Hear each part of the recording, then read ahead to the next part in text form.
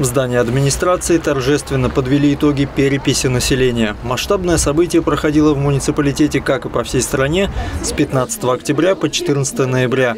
Всего в Ленинском городском округе было задействовано более 450 человек. В зале собрались контролеры переписных участков. Это можно сказать, что это актив. Это можно э, актив нашего, наверное, Ленинского района. То есть мы э, очень как бы досконально подбирали кандидатуры, потому что он работает э, с переписчиками, он их обучает, он контролирует работу. Подвел итоги и поблагодарил переписчиков заместитель главы администрации Ленинского округа Эдуард Арадушкин. В своем выступлении он подчеркнул важность и актуальность проделанной работы в быстро развивающемся муниципалитете. Неоднократно даже в процессе переписи в течение там, этого периода в месяц менялись там задачи, подходы и так далее и тому подобное. И несмотря ни на что, э, задачи были выполнены, э, перепись успешно проведена.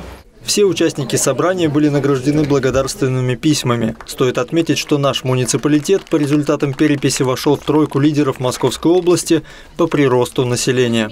У нас было такое большое строительство, и поэтому у нас очень много людей, те, которые жили, скорее всего, может быть, даже жили у нас в районе, но были без прописки. А перепись, она позволяет э, вот указать именно то фактическое население, можно сказать, что постоянное население, которое проживает у нас на территории.